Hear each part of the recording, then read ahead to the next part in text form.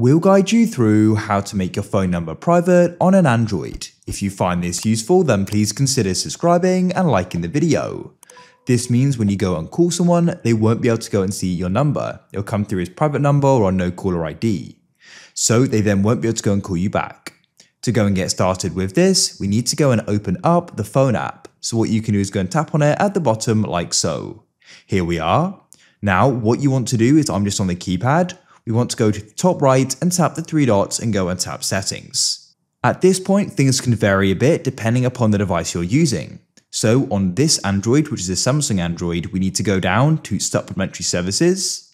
On other devices, it may be additional settings or more settings, which we can click on. And on some devices, you may have an option for anonymous caller ID here, which you can then go and enable.